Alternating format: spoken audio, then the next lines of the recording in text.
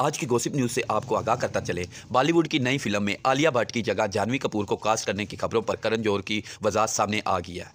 Media के मुताबिक धर्मा production दुल, दुल्हनिया थ्री को बनाने के ख्वाहिशमंद है और इसके लिए आलिया भट्ट से उन्होंने रबता किया। लेकिन आलिया भट्ट अपने मसरूफ़ शेड्यूल की वजह से ये फ़िल्म की शूटिंग नहीं कर सकती। जराये के मुताबिक आलिया भट्ट के इनकार के बाद धर्मा प्रोडक्शन ने वरुण धावन के साथ जानवी कपूर को कास्ट करने पर गौर कर लिया है। फ़िल्म के डायरेक्टर करण जौहर ने इंस्टाग्राम पर इस खबर के तनाजर में मीडिया इदारों से अपील की है कि वो फ़िल्म की कास्ट कास्ट से, से मुतलिक अफवाहें फैलाने से गरेज करें। करण जौहर के मुताबिक जब प्रोजेक्ट के मुतलिक तमाम बातें फाइनल हो जाएँगी तो मीडिया को इस फ़िल्म के मुतलिक आगाह कर दिया जाएगा। दोस्तों मजीद ऐसी इंटरेस्टिंग गोसिप न्यूज़ के लिए हमारे साथ जुड़े रहें। इस चैनल को सब्सक्राइब करके इस वीडियो को लाइक करते शुक्रिया।